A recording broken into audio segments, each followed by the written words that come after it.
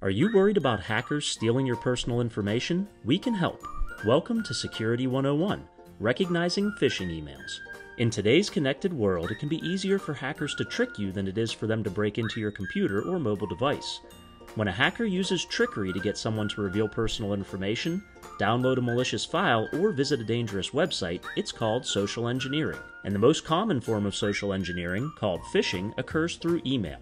But how can you recognize these phishing emails and protect yourself? Tip 1 Check the sender's email carefully.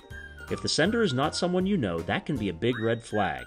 Also, if the email address itself is suspicious or misspelled, it may be a phishing scam. Check out this example. At a glance, the sender appears to be from Microsoft's support team.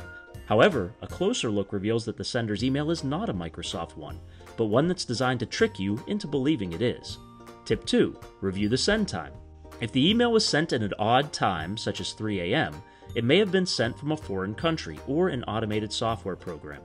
Tip 3 Is the subject suspicious? If the email's subject is a reply to an email you never sent, or if it's not related to the message's content, it may be a phishing attempt.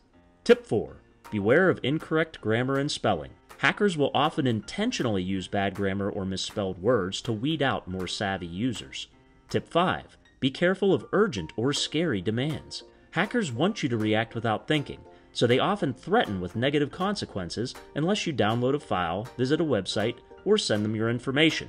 Likewise, if an offer seems too good to be true, it probably is.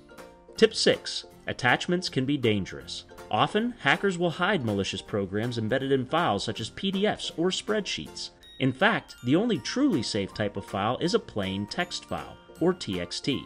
If the email seems at all suspicious, it's best to not download or open any attachments.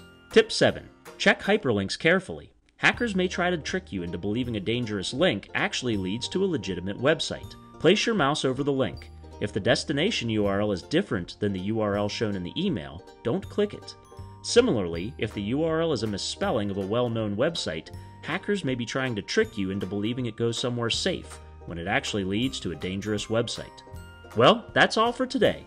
Keep these tips in mind and you'll be a lot better prepared to avoid being caught in a phishing email's net. Class dismissed.